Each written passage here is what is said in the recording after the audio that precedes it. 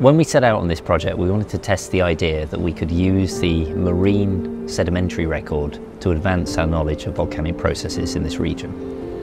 And of course, we couldn't be sure what we would find.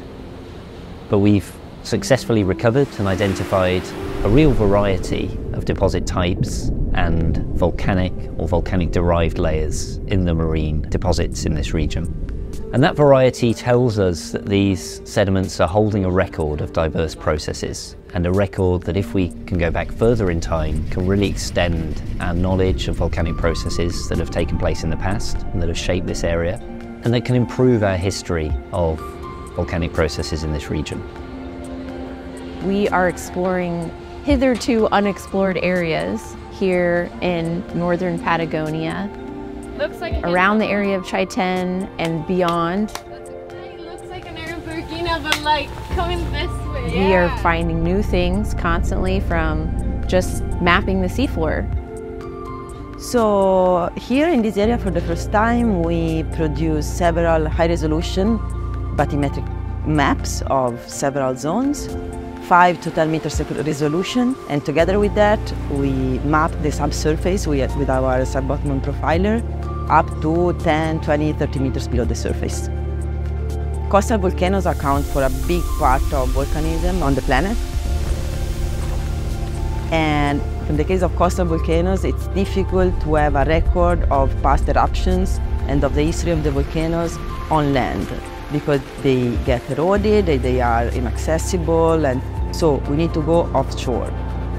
And the samples in particular, I think, will provide the basis for research for many years to come, not just directly from this project, but to build into future projects. So we're learning a lot about how the environment changed, how the ecosystems responded to these really dramatic events and the volcanic eruptions that happened here, but also the long-term changes associated with climate change. We're learning so much and I love that we can share this with the local community.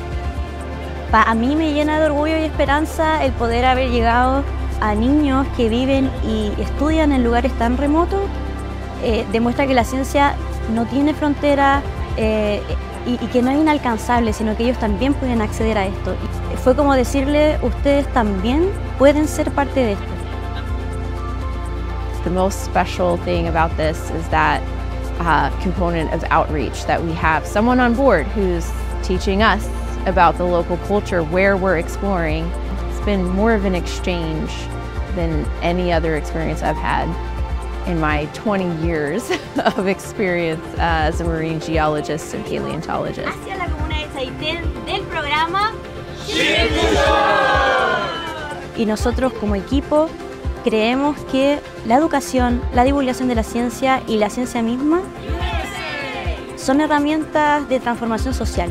Entonces nosotros al compartir el conocimiento hacemos que más personas se sientan parte de la expedición, en hacer accesible el conocimiento, en acercar la ciencia a niños que viven en lugares tan aislados, eh, me hizo sentir parte de algo mucho más grande, como algo que trasciende más allá de la expedición donde no solo educamos, sino que también inspiramos. Y yo creo que lo voy a atesorar por siempre. Ser parte del despertar de esa curiosidad en ellos fue un recordatorio de por qué nosotros hacemos lo que hacemos y de, de que cada niño y niña, sin importar qué tan pequeño sea su mundo, tiene el potencial de ser un gran científico o científica.